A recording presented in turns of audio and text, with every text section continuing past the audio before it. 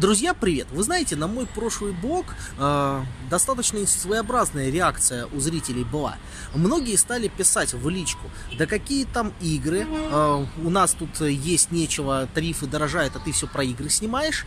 А другие начали мне писать, э, мол, зря ты так о молодежи. Наша молодежь достаточно грамотна, она во всем разбирается и уж точно сможет отличить э, ну, настоящее от вымысла. И вот я решил пойти и проверить, а насколько наша молодежь э, во всем, так сказать, разбирается разбирается, насколько она вообще знает э, хоть немного о Великой Отечественной войне, о Второй мировой войне. И я задавал два вопроса. Вот первые, которые мне пришли в голову. Первое. Знает ли кто-нибудь, что такое генеральный план ОСТ? Я напомню, это план э, фашистской Германии э, по расселению и уничтожению славян.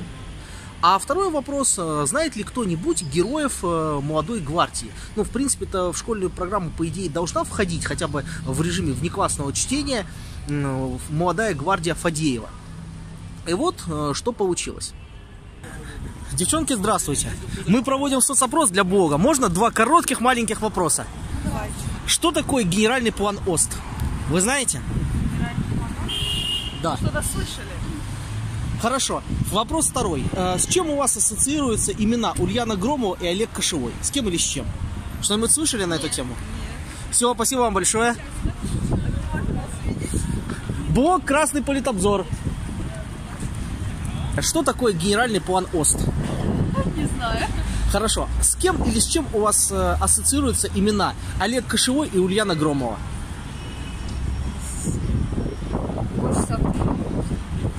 Все, спасибо вам большое.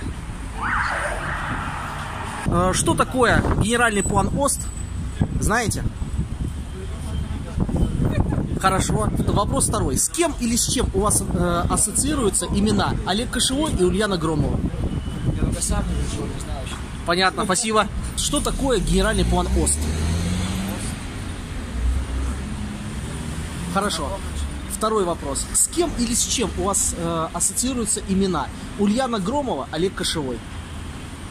Честно. Все, спасибо большое. Вот такой вопрос. Сейчас я камеру с камерой справлюсь, а то она сама живет.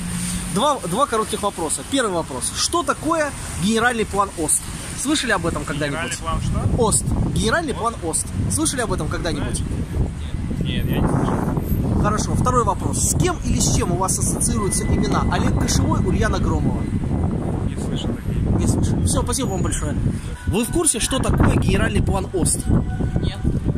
Хорошо. А, а, два имени. Ульяна Громова и Олег Кошевой. Что-нибудь говорят? Вообще нет. Вообще Что это атаман? Нет. Понятно, спасибо. Вам что-нибудь известно, э, что такое генеральный план ОСТ? Имена Олег Кошевой, Ульяна Громова, Лиза Чайкина. Что-нибудь говорят? Ничего, спасибо. Скажите, вы что-нибудь знаете о том, что такое генеральный план ОСТ? Понятия не имею. Хорошо. А, два имени. Ульяна Громова, Олег Кошевой. Вы знаете что-нибудь про этих людей? Кто это? Кошевой слышал, но не знаете. Все, спасибо вам большое. Что вы знаете о генеральном плане ОСТ? Ничего.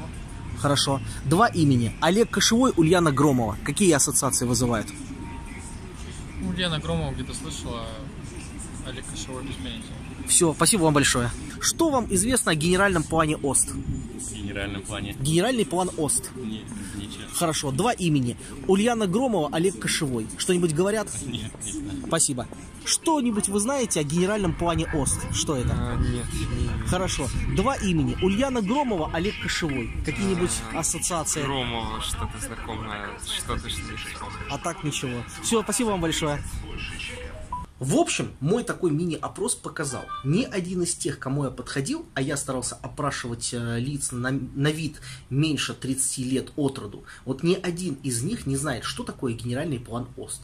Никому из них не знакомы имена Ульяны Громовой, Олега Кошевого, Лизы Чайкиной. Это говорит, в свою очередь, о чем? Молодежь книг не читает, школьная программа проходит где-то мимо. Если так будет продолжаться еще 30 лет, и наше вот э, государство начисто забудет, наше население забудет о подвигах отцов и дедов в Великой Отечественной войне. Соответственно, а наш враг э, одержит историческую победу.